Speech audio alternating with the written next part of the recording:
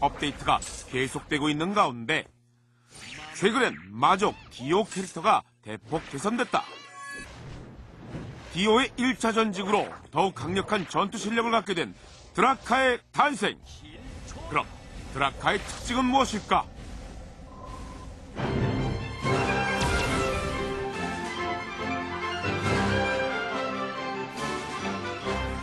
먼저 드라카는 마계로 되돌아가기 위해 봉인해 두었던 힘의 일부를 회복하면서 자신의 힘을 형상화한 다양한 무기의 숨겨진 능력을 끌어낸 전투가 압권이다.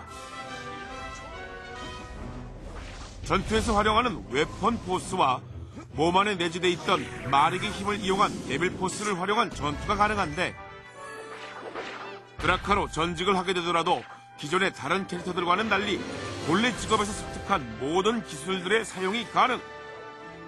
체력 지수가 부족해 필살기 및 특수 기술을 사용할 수 없는 상황에서도 역동적인 전투를 즐길 수 있다.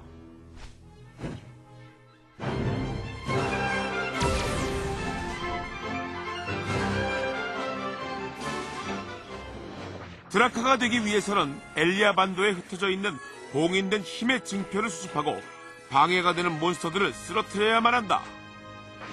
혹독한 임무 수행을 완료 후 어렵게 얻은 재료를 모두 수집한 자만이 드라카가 되는 영광을 안을 수 있다.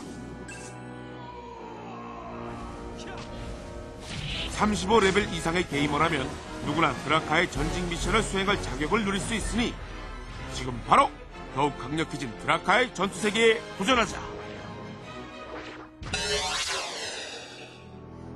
액션으로 부활한 Front Mission의 새로움을 즐겨라. Front Mission Evolved.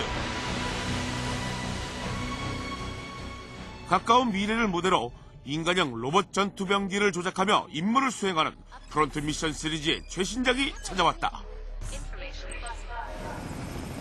이번 시리즈는 가까운 미래에서 벌어지는 세계 각지의 분쟁 속에서 기동병기 반처를 조종하는 밀리터리 색깔이 짙은 작품이다.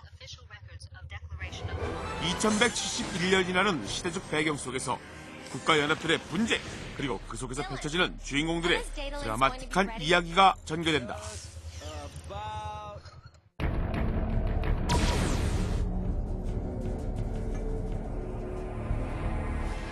이볼브드는 정식 시리즈 개념을 탈피한 것이 가장 큰 특징인데 그 결과 새로운 느낌의 3인칭 슈팅 게임을 만들어냈다. 일단 반차는 이동, 공격, 부스터를 이용한 점프, 대쉬 등 다양한 조작이 가능하며 약간은 우둔한 느낌의 중량감 있는 움직임으로 전투에 박진감을 느끼게 한다. 이번 게임에 반차를 조정하는 액션 부분에서 주목해야 할 새로운 요소는 바로 EDG 모드이다. 기존의 분리타임과 비슷한 느낌의 특수 기술로 게이지를 사용하여 발동하는 동안 적의 움직임을 느리게 만들어 목표를 정하고 적을 공격하거나 적의 공격을 회피하며 불리한 상황을 바꿀 수 있게 한다. 하지만 EDG 모드는 언제라도 무제한으로 발동이 가능한 것이 아니라 적에게 큰 위협을 줄 때마다 모이는 게이지를 모두 모았을 때 비로소 발동이 가능하다.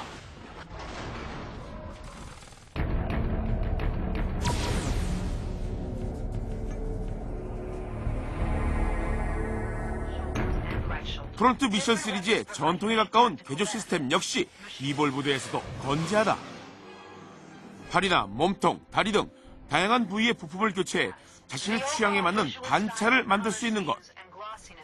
무기는 양팔뿐만 아니라 양 어깨에도 탑재가 가능하며 근접 격투 무기부터 원거리 무기까지 폭넓은 유저들의 취향을 만족시킬 수 있으니 확 달라진 프론트 미션의 개성에 이제 눈뜰 시간이다. 실감나는 볼링의 세계란 바로 이런 것. 브론즈윅 프로 볼링. 동작 인식 게임과 만나 실제 볼링장에서 느끼는 것과 같은 통쾌함을 선사하는 프로 볼링 게임 브론즈윅 프로 볼링. 이 게임은 레일 위의 오일 패턴에 따라 볼링공의 궤적이 다르게 바뀌는 등 볼링의 역동적인 요소를 완성도 높게 재현했다는데